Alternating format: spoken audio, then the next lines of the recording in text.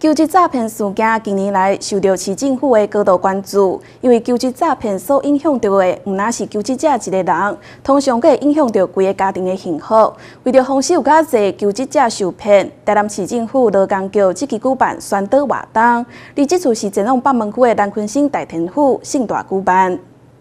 身份证、户口名户、健保卡，签签的，你就会当来上班。求职诈骗的事件不断在发生，虽然之前已经有足侪案例作为侦查之干，毋过也是有足侪民众会无说理疏忽，而来受到诈骗。台南市政府劳工局为着保护民众的权益，是积极咧推动求职防诈骗的宣导活动。因此，日前是特别来甲上西北边的北门南昆新大田府进行宣导，就是希望互台南各地的民众拢会当因此了解到相关资讯，避免来受骗。求职要注意，就是不要被哦，类似说有一些诈骗啊，哦，等下都要厘清工作的内容，还有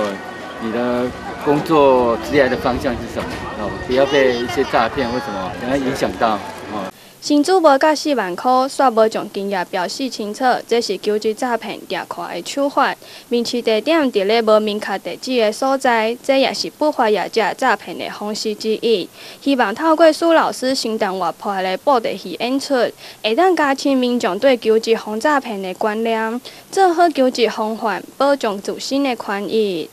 确认求职方向啊，要厘清工作的内容，还要检视职缺的内容。七个不要做的事情，就不要缴钱，不要购买，不办卡，不签约，不离身，不引诱，不非法工作。